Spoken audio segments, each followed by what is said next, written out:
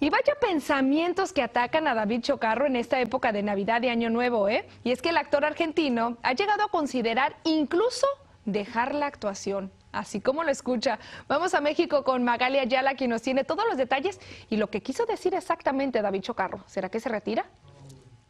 La familia, lo más importante. Y Las fiestas de fin de año prenden la llama de la nostalgia en la vida de David Chocarro, el protagonista de Señora Cero, que en los últimos cinco meses ha tenido que viajar constantemente de México a Miami para estar cerca de su esposa Carolina Laursen y sus hijas Alegra y Brillita. Eh, el hecho de seguir sacrificando la parte personal por la profesional.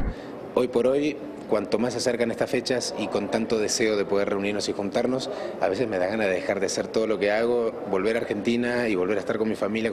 Aunque la tecnología le permite al actor argentino estar en constante comunicación con sus pequeñas de 8 y 6 años, la distancia no deja de doler. Tiene que ver con haber visto en varias etapas de la, de la vida de mis hijas, haberlas visto crecer a través de una, de una pantalla. Entonces, eso me fue calando, calando, calando y hoy me pesa cada vez más. Con todo lo que estoy diciendo parece que el tipo quiere renunciar. Hay que encontrar el balance, me parece, y a mí por lo menos me está agarrando en esta etapa de mi vida, no sé si será la edad, será que me estoy poniendo viejo, pero no, no, no, pero al- algo de eso definitivamente debe haber.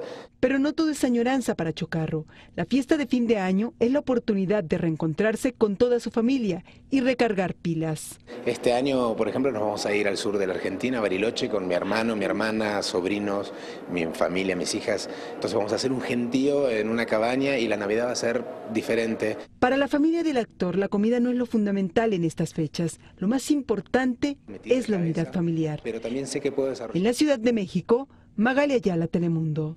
Y así poder avivar la polémica que tú tenías, que tú estabas involucrado en Eh, esa ¿Quién es él? loco? Bueno, vamos a escuchar lo que él dijo.